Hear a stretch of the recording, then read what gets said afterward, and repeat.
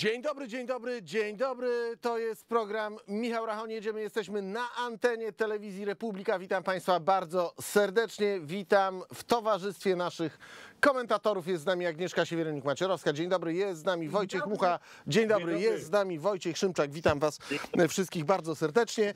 E, Tak, mainstream nie może dojść do e, porozumienia, no bo tak, Gazeta Wyborcza, Unia Europejska zbacza na prawo, Rzeczpospolita, chmury nad Europą, populiści pokazali w Europach muskuły, Dziennik Gazeta Prawna, prawo skręt Europy nie w Europarlamencie. Niestety, może nawet bym chciał, żeby Parlament Europejski skręcał w prawo, znaczy na pewno bym chciał, ale niestety to się nie wydarzyło. W Parlamencie Europejskim nic się nie zmienia. Wiem, że tam jest trochę więcej tych ugrupowań, które są ugrupowaniami powiedzmy sceptycznymi, trochę więcej sceptycznych względem Unii Europejskiej, polityków w Parlamencie Europejskim, ale nie, proszę porzucić nadzieję. Nic się w Europarlamencie nie zmieniło, nie będzie żadnych zmian w tym szaleństwie, które obserwujemy od lat. Witam Was bardzo serdecznie. E, Agnieszko, Wojtku, jak patrzycie, mówię do Wojtka, mu chyba przygląda się temu od lat. Wojtek, Wojtek Szymczak też za chwilę będzie e, komentował. To jak, jest skręt w prawo, czy nie ma skrętu w prawo, ale Agnieszka, królowa Podlasia i Białego Stoku zaczyna. To jak mam zacząć, to ja powiem, tam coś mówiłeś o muskułach, nie? E, ja myślę, że właśnie prawica jeszcze nie pokazała, jakie ma umięśnienie i bicepsy, ale to widać, że w tę stronę wszystko zmierza, przynajmniej na razie. I oparte jest to, krótko mówiąc, o politykę migracyjną Unii Europejskiej, która jest po prostu bezdennie głupia, prowadzi donikąd, a w zasadzie na szkodę własnych obywateli. I dlatego się działo, się, się działo, się stało to co się, to, co się stało. Ale to jeszcze za mało, zdecydowanie za mało się stało w stosunku do tego, co Unia nam serwuje jako obywatelom, po prostu jakie mamy życie. Wszystko zgodnie z planem niestety, bo nie są to rzeczy y, przypadkowe. Wojtek Mucha, jak patrzy na, ten, te- na tę perspektywę i to, ten brak porozumienia, no bo jeżeli oni się już nie mogą sami w tym całym swoim kotle dogadać, jak to jest, to No, Może coś jest na rzecz. Zwracajmy uwagę, kto pisze co i, i gdzie, ale, ale e, ciekawsze są fakty. Fakty są takie, że no, na przykład część polskich rolników, którzy przecież protestowali przeciwko polskiemu, e, przeciwko Zielonemu Ładowi na ulicach, no, do wyborów jednak zdecydowała się nie pójść, więc tutaj trzeba sobie zadać pytanie, co takiego się stało, że zdecydowali się pozostać w domach. Myślę, że myślę, że z jednej strony no, to ich prywatne decyzje, a z drugiej strony pewne, e, pewne no, że tak powiem, nie do końca trafione kandydatury, które, które pojawiały się w, w, w tych e, rolniczych bastionach. Co do mainstreamu, który, który to wszystko komentuje, rzeczywiście jest pewna kak- kak- kakofonia, bo chociażby jedna z korespondentek brukselskich pisze, że eurodeputowani w Polsce, eurodeputowani, mowa o koalicji obywatelskiej, odzyskują władzę i wpływy w Parlamencie Europejskim i że i że e, delegacja PO-PSL może zawalczyć o ważne stanowiska e, oraz odsunąć częściowo od władzy Niemców. No, na pewno. Chyba mi tutaj prędzej przepraszam, naprawdę ktoś coś takiego powiedział? Więcej, więcej Abramsów niż do tej pory do Polski, e, do Polski trafiło niż, e, niż to się stanie.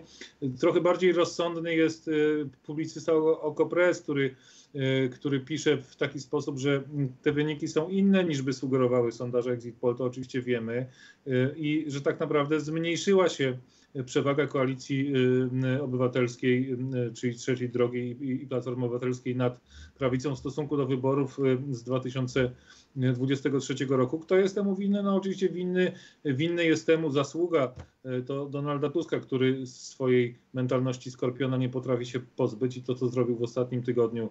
Oczywiście dobrze, że dowiedzieliśmy się o sytuacji na granicy, no ale to pokazuje, że on jest jak, niczym ten skorpion z przypowieści, który żabę holującą go na plecach gotów jest utłuc po to, żeby, y, no bo taką ma naturę. Y, Więc y, publicyści związani jeszcze jakoś tam w miarę rozumujący logicznie wiedzą, że kres tej wielkiej koalicji, a do tego to wszystko zmierza do wchłonięcia przy- przystawek, będzie oznaczał, oznaczał to, że część ludzi, która głosowała na trzecią drogę, no bo no po prostu w domach następnym razem pozostanie. Problemem prawicy jest, jest to, co takiego się stało, że że jej wyborcy w dużej części do, do wyborów nie poszli. Tutaj za, zacząłem od rolników, na rolnikach skończę, bo to myślę jest rzecz, którą Ale to jest bardzo ciekawe. Mówiliśmy o tym w pewnym sensie odrobinę wczoraj, być może dzisiaj też będzie m, do tego e, okazja. 100 tysięcy, lekko ponad 100 tysięcy głosów różnicy ostatecznie między Prawem i Sprawiedliwością a e, Platformą Obywatelską. I wydaje mi się, że to jest liczba, która mogła być nadrobiona.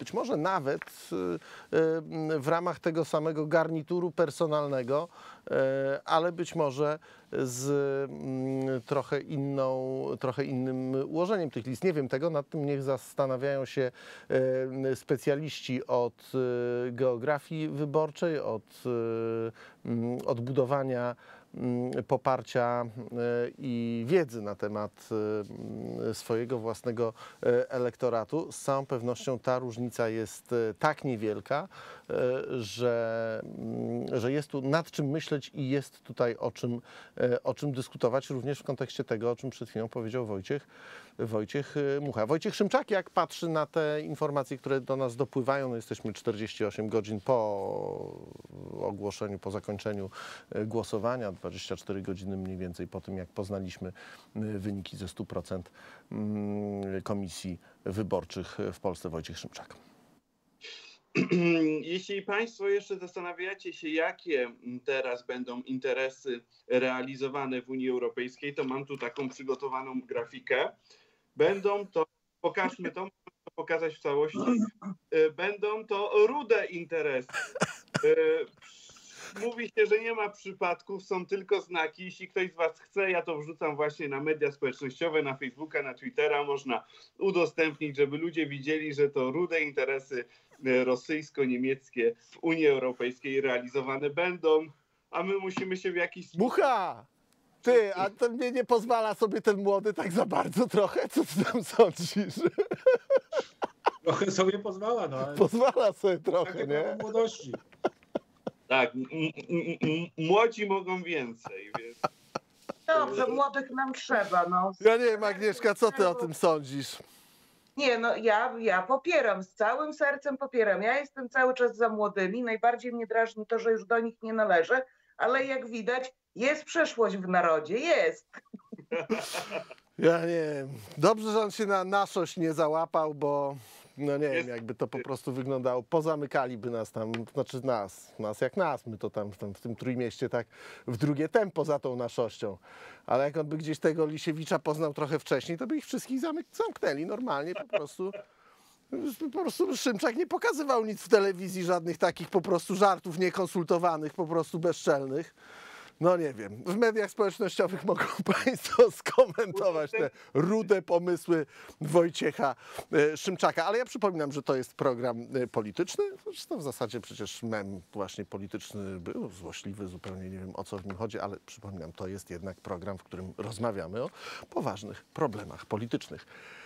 Te obrazki, szanowni państwo, które dobrze znamy z miast Europy Zachodniej, to efekt konsekwentnej, przynoszącej opłakane skutki polityki migracyjnej europejskiego głównego nurtu. I nie jest ona, jak mogłoby się e, wydawać, mm, jedynie efektem, czy jak mogłoby się wydawać naiwnym obserwatorom, jedynie efektem e, masowych ruchów uchodźczych z miejsc, w których e, m, toczą się e, wojny. Zobaczmy, jak wyglądały sceny w Warszawie w dniu, kiedy trwały, mm, trwały wybory i głosowania. Idiota. Jej, kurek. Zwolna to, bo on skacze niszczy samochód. Zobacz, co on samochodem robi. Ludzie. Boże kochany, no patrzcie co ten debil robi. Jej, kurety. Dobra, Czy on samochody poniszczy? Mówiłam, że... trzeba dzwonić. Bo on teraz y, ten, e, nie wiadomo co będzie następne. Nie wiadomo, który następny, no. Ale to zobacz, czy po twoim nie skacze. Dajcie Ale cały co- dach wchodzić, przychodzi tutaj. Co oni robią? Po szybie, po szybie, po... idzie... Cicho. Ja cię kręcę. No, mówiłam, 112 to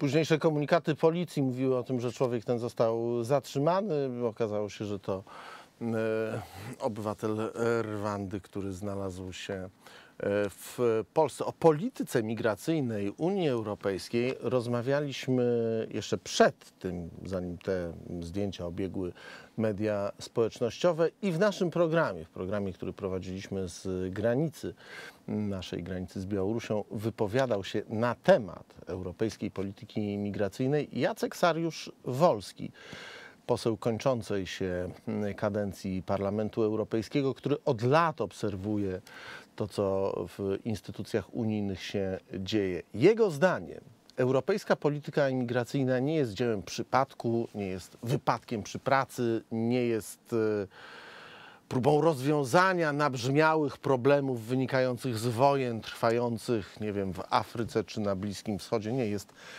logiczną i świadomie prowadzoną od lat polityką.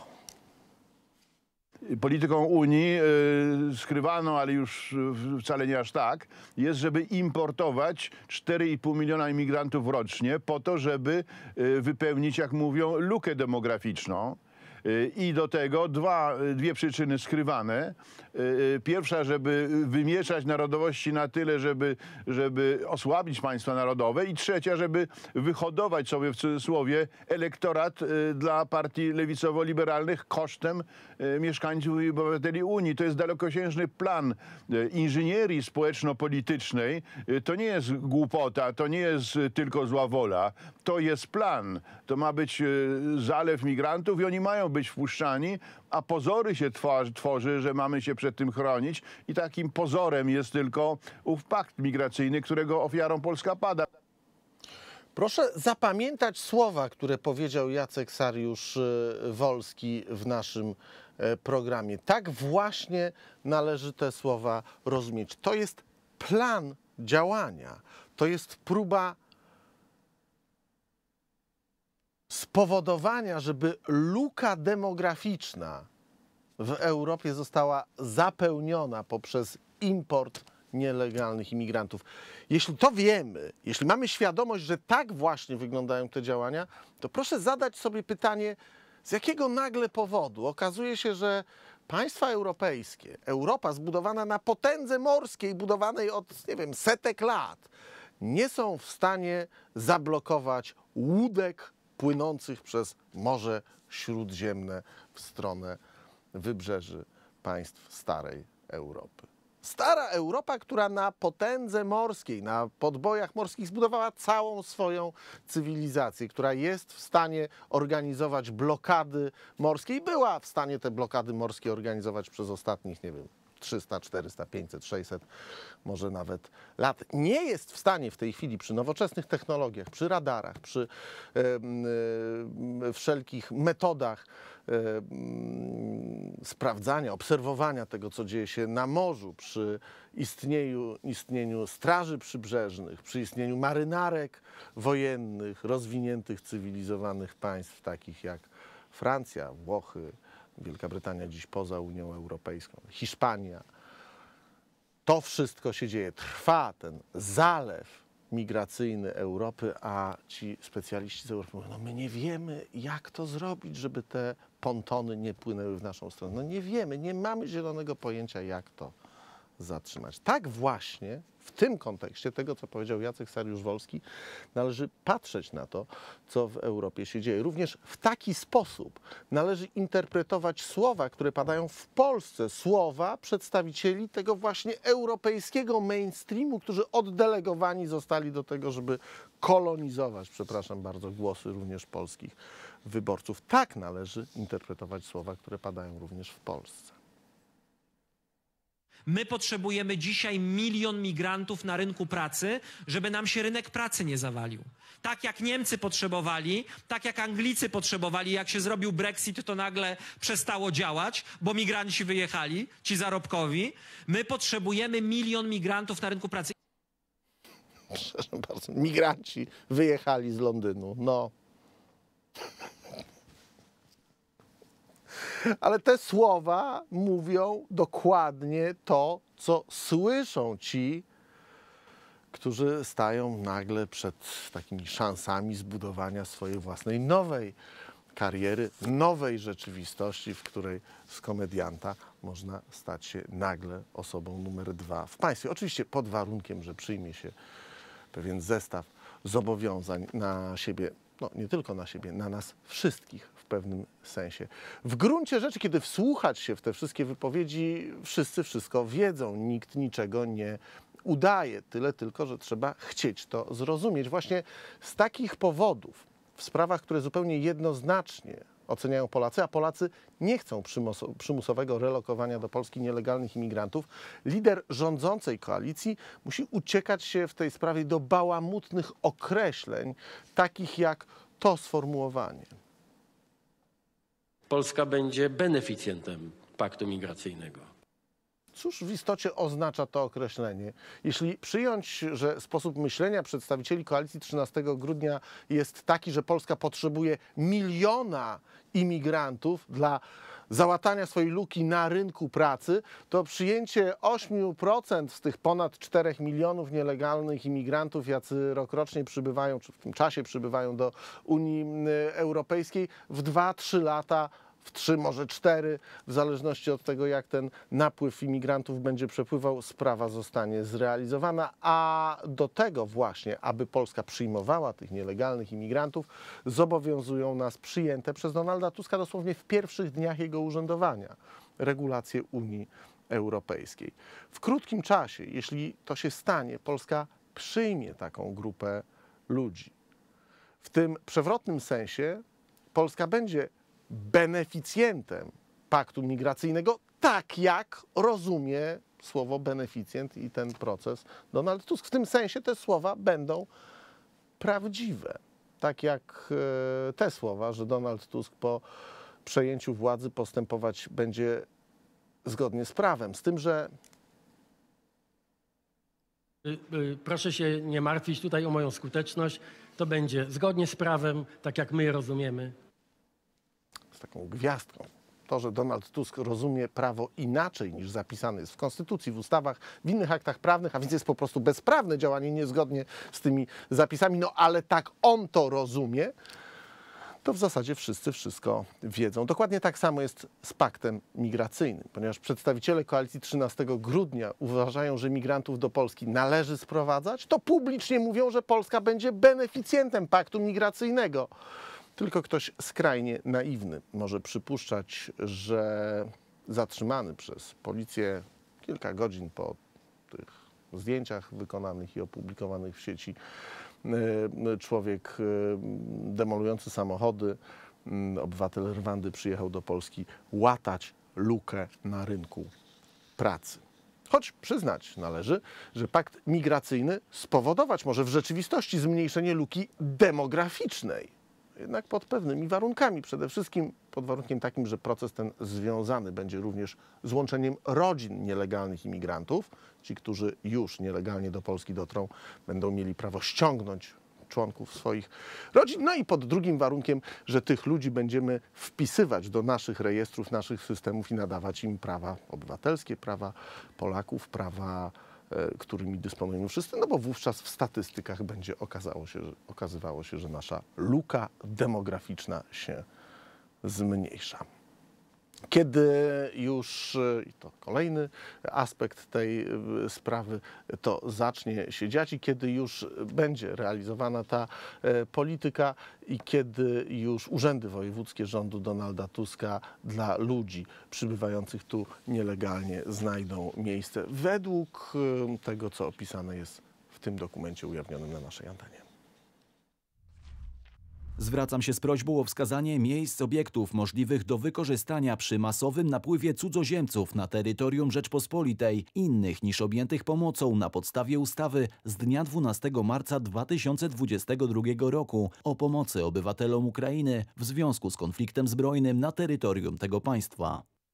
Ten proces postępuje jednoznacznie z rozluźnianiem szczelności wschodniej granicy przed białorusko-rosyjskim atakiem za pomocą fali migracyjnej na naszą granicę. Wczoraj polski premier stwierdził, że nie ma rzekomo koniecznych rozwiązań prawnych, które pozwalałyby skutecznie te granice chronić przez wojsko. Pan premier Kośniak-Kamysz przygotował, to, te prace trwały już wcześniej, odpowiednie y, rekomendacje prawne. Mamy tutaj projekt ustawy o zmianie ustawy o obronie ojczyzny oraz niektórych innych ustaw.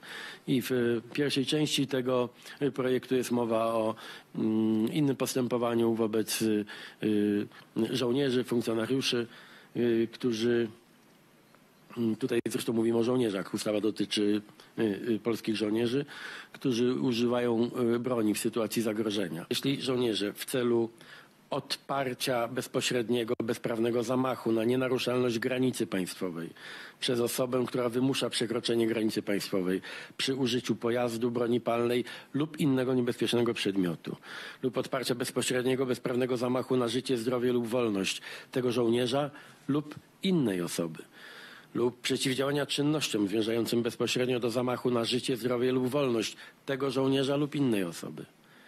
Y, Konieczności przeciwstawienia się osobie niepodporządkowującej się wezwaniu do natychmiastowego porzucenia broni, materiału wybuchowego lub mm, innego niebezpiecznego przedmiotu, którego użycie może zagrozić życiu, zdrowiu lub wolności tego żołnierza lub innej osoby, lub która usiłuje bezprawnie odebrać broń palną żołnierzowi lub innej osobie uprawnionej y, do, do jej posiadania. Jeżeli okoliczności wymagają natychmiastowego y, działania, to wtedy według tych nowych przepisów y, żołnierz nie popełni przestępstwa.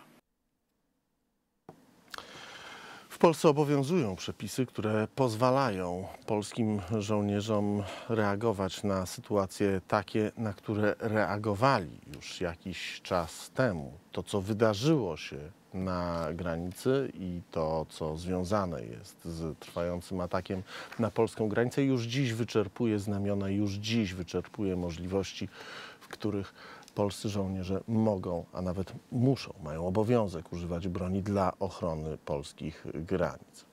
Oczywiście pojawiają się pytania dotyczące zmian tych ustaw i tego, czy przypadkiem przepisy, które obowiązują w tej chwili, a które powodują, że Wojsko Polskie znajduje się na granicach i pomaga w patrolowaniu granic, pomaga odpierać ten atak, to kwestie, które związane są z innymi sprawami niż tylko to, o czym przed chwilą mówił Donald Tusk, mówiąc o warunkach używania broni, bo co do tego chyba nikt rozsądny nie ma żadnych wątpliwości. Dziś wojsko jest na granicach ze względu na obowiązującą ustawę, która daje taką możliwość pod warunkiem uzyskania zgody prezydenta. Być może problem w tych zmianach ustawowych polegać ma właśnie na tym. Zobaczymy, jak te sprawy będą wyglądały. Zwierzchnik Sił Zbrojnych wypowiadał się na temat sytuacji na granicy również wczoraj. Wiecie Państwo, że przez okres tych ponad dwóch lat, od lata 2021 roku, bardzo różnie bywało i niestety byli politycy na naszej scenie politycznej, którzy no, w brutalny sposób nieraz y, atakowali naszych funkcjonariuszy, można śmiało powiedzieć, kalali polski mundur.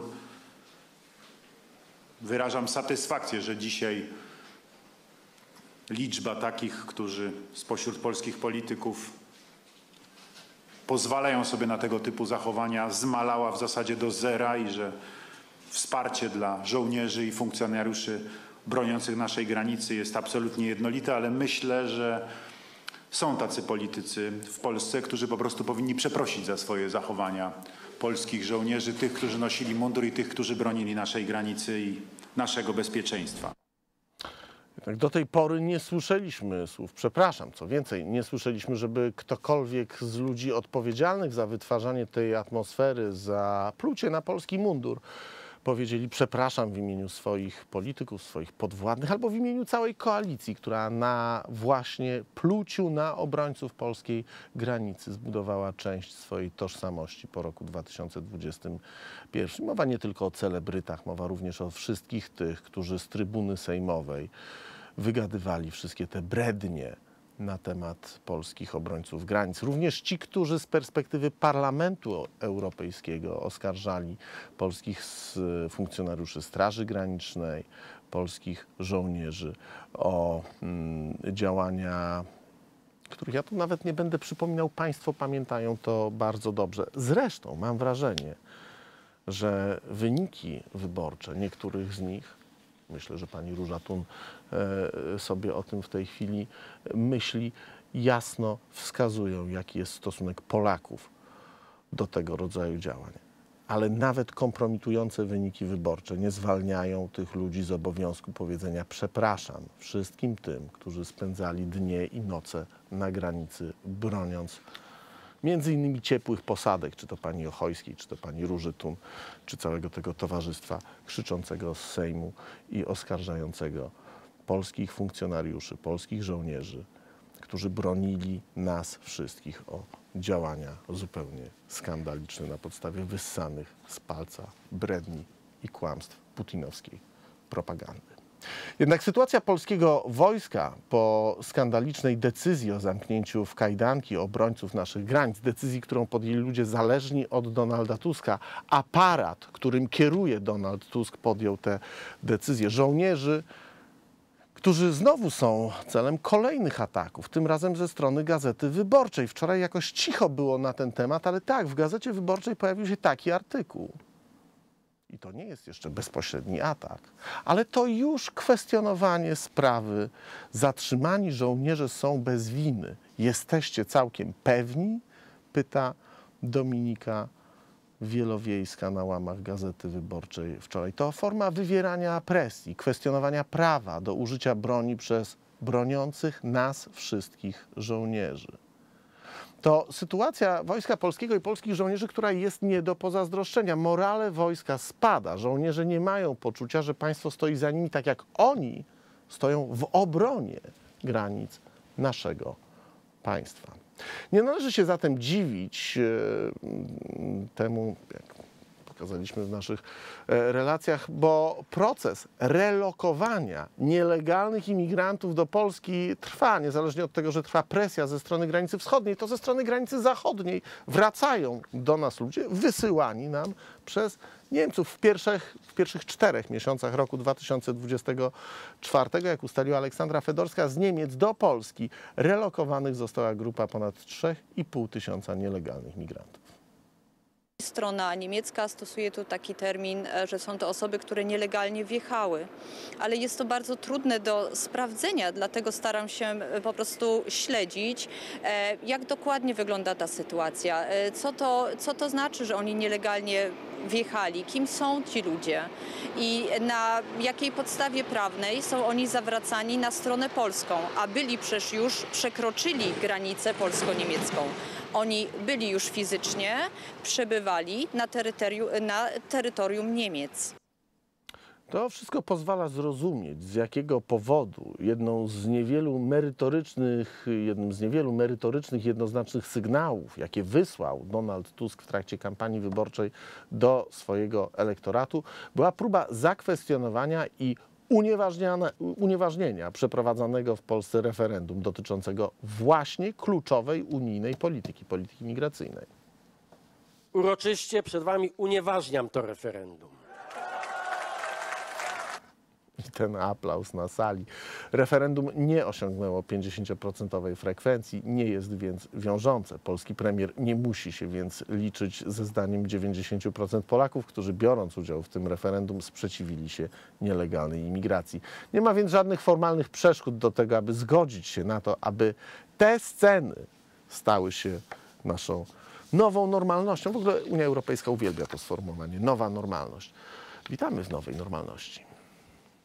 Idiota. Jej, kurek. Woda to, bo on skacze niszczy samochód. Zobacz, co on samochodem robi. Ludzie. Kretyn. Boże kochane, no patrzcie co ten Którzy debil widzą na robi. swoich ulicach to, co widzieli do tej pory tylko w przekazach internetowych, telewizyjnych. Bo teraz ten, e, nie wiadomo co będzie następne. Nie wiadomo, który następny, no. Ale to zobaczcie, Środowiska oburzały się, kiedy między innymi w telewizji polskiej pokazywaliśmy te sceny, ostrzegając, że jeśli dalej tą drogą iść będzie Unia Europejska, jeśli państwo polskie pójdzie tą drogą, to będzie to również nasza nowa normalność. Wówczas słyszeliśmy, że to jest oburzające, że to jest skandaliczne.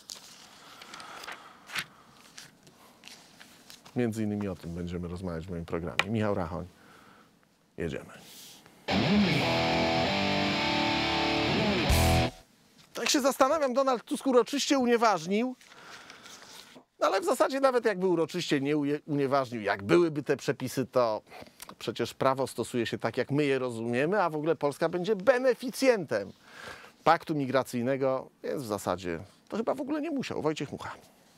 Bardzo dużo wątków tutaj poruszyłeś i postaram się je rozplątać od, od początku, w zasadzie od końca. Co jest szalenie istotne, dokument, który pokazaliście na antenie telewizji y, Republika, który mówi o tym, by szukać miejsc dla przybyszów, którzy mieliby się tutaj osiedlać, jest bardzo ciekawy. Na co tam warto zwrócić uwagę? Ano na jeden punkt, który mówi o tym, że szukamy nie tylko miejsc y, noclegowych, ale także miejsc pod obozowiska, w których ci ludzie mieliby przebywać. To jest bardzo poważna zmiana w stosunku do tego, co działo się przy okazji y, wielkiego kryzysu spowodowanego rosyjską agresją na, na Ukrainę, kiedy do, do Polski przybyło ponad y, milion, milion osób. Polska była pokazywana jako wzór na świecie właśnie z tego powodu, że żaden obóz dla migrantów nie powstał, że wszyscy ci ludzie znaleźli zakwaterowanie, znaleźli dach nad głową właśnie w polskich, w polskich domach. Tutaj mamy expressis verbis napisane, y, by szukać miejsc pod obozowiska, pod takie koczowiska, gdzie przybysze mieliby się, mi- mieliby się znajdować, mieliby znaj- znajdować tymczasowe, tymczasowe miejsce zamieszkania. No to pokazuje y, jednak, że nie chodzi o ewentualną drugą falę uchodźców z Ukrainy, tylko właśnie o kogoś, y, kto jest tak różny od nas, że przypuszczalnie niechętnie Polacy by y, chcieli w obawie przed, y, przed tym, co może ich spotkać, tych ludzi pod własny dach przyjąć. Druga rzecz.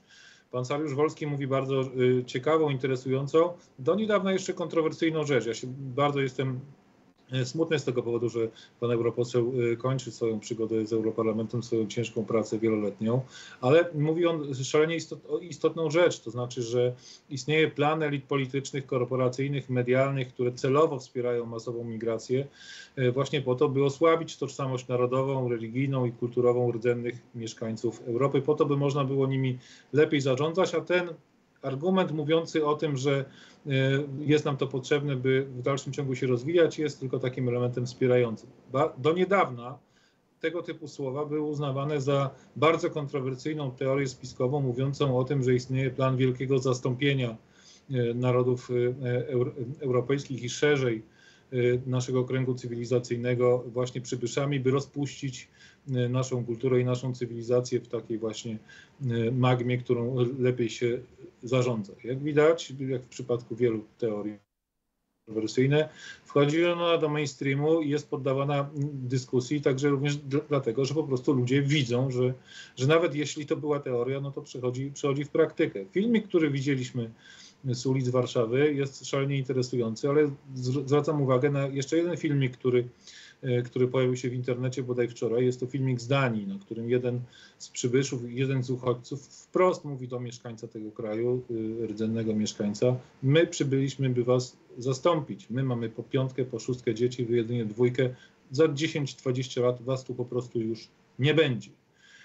I cóż, y, y, można powiedzieć, widząc y, takie obrazy, jak nie to, że ta teoria jeszcze do niedawna uz- uznawana za kontrowersyjną się, się potwierdza. Kończąc, bo nie, nie chcę zabierać za, za dużo czasu in, innym, innym gościom, powiem tylko, że słowa pana marszałka Hołowni tutaj przywołane o tym, że Wielka Brytania będzie miała bardzo duży problem, bo rezygnując z migracji skazuje się na niebyt gospodarczy. Wielka Brytania w ostatnich miesiącach, specjalnie sobie otworzyłem, e, są dane, że wyszła z recesji, gospodarka jest na drodze do trwałego wzrostu. PKB w pierwszym kwartale urósł o 0,6, średnio spodziewano się zwyżki o 0,4. Jednocześnie, Szanowni Państwo, Wielka Brytania będzie deportowała swoich migrantów do Rwandy. Podjęto e, ustawę umo- umożliwiającą deportację tych imigrantów nielegalnie przekraczających granicę, z jednym tylko wyjątkiem. Jeśli wstąpią do Armii Zjednoczonego Królestwa, będą mogli na wyspie pozostać. Jak widać, no, wszystko to pokazuje, że, y, że ma, mamy do czynienia z jakimś wielkim kłamstwem serwowanym nam przez ekipę y, rządzącą. W czyim interesie? No można tylko się domyślać, że w interesie tych wszystkich elit, o których powiedziałem na początku. Ja zachęcam Państwa, bo te, część tych setek, które pokazaliśmy w, w tym materiale wstępnym, to setki, które wyszukał Konrad Wąż w jego materiale.